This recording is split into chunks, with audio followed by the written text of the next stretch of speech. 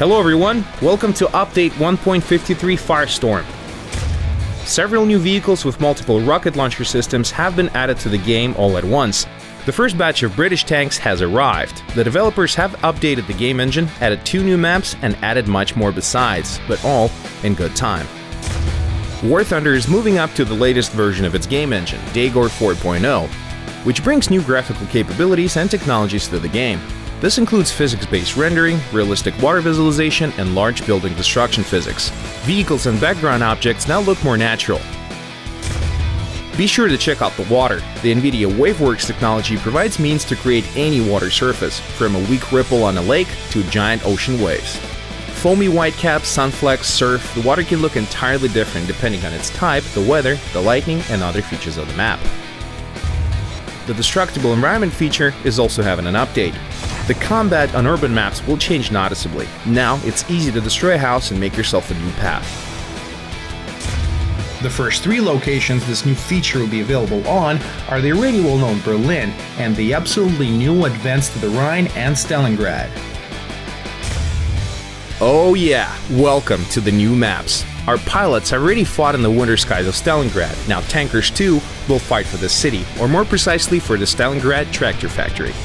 The entire factory complex will be their battleground. There will be plenty of room to spread out your forces. A giant winter map created using authentic photographs, new objects such as highly detailed tractors that the factory produced before the war, and trains with rolling stock still standing on the tracks awaiting dispatch. The developers carefully recreated everything to the last detail. Another stunning urban location. In the Advance to the Rhine, history bustles with familiar details. After all, it was the site of the famous tank duel at Cologne Cathedral that inspired the developers to create this in-game map. The new destruction system used with the new map will make it even better to play. Crush, smash, and destroy entire blocks in this already mauled city to flank your opponent or get to where you need to go faster. Dynamic sniper battles in urban conditions are the best way to train your mastery of the game. Now let's see what's new in the hangar the British development tree has received the new tab, Army. The first to honor the crown on the new front will do battle in unique vehicles with names renowned in history. Let's meet them. The A-13 Mark II with applique armor. The vehicle that began the entire line of British cruiser tanks. It has an excellent rate of fire, wonderful mobility, and this tank was the first to use the Christie suspension system, the same that was used on the Soviet BT tanks and even the T-34 the A-43 Black Prince. Its enemies will have to learn the Imperial measurement system to realize that 17 pounds is no joke. The Prince is one of the most modern Churchill modifications as excellently armored, armed, and simply brutal. Perfection has no limit. Why not install a 17 pounder in the turret of a proven warrior? Consider it done. The Sherman Firefly Trushinets of the 2nd Tank Division Warsaw this vehicle turned out to be so successful that it remained a dangerous opponent to the German tanks until the very end of the war. Haven't learned what 17 pounds means yet? Then let's nail it and find out. The M10 Achilles of the British 7 Armored Division has all the pluses of a fast and mobile SPG in combination with what is now your favorite weapon. Happy hunting! Impressed? Well, the USA, Germany, and the USSR don't plan to let Britain get away with all this power the M26 Pershing with an unguided rocket launcher system. 44 rocket shells in combination with the M3 cannon allow this vehicle to overwhelm its enemy with a rain of fire, and the clever design of the launcher doesn't expose the tank either. Do you rely more on tactics? Then your choice is the T-92 in the US light tank branch. Low dimensions, low profile, and a very impressive mobility. For the first time, light tanks would take their place in high-rank battles. With even just one such vehicle, the team will quickly occupy key points on the battleground. For connoisseurs of powerful weapons, the experimental T-25 medium tank has become available. It has the now familiar 90mm M3 cannon and decent armor for rank 3.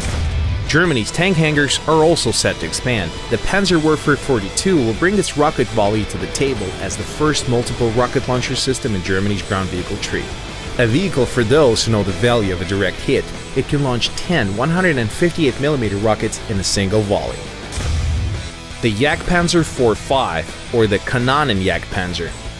The Germans always loved giving their tanks difficult to pronounce names. While you're trying to say its name, this new German SPG will already be at your rear. It has maximum speed of 70 km an hour, and its weapon, stuck with post-war ammunition, will make even the most heavily armored opponents sweat. The number of explosions on War Thunder's battlefields will grow even bigger. The USSR isn't about to lag behind the competition either.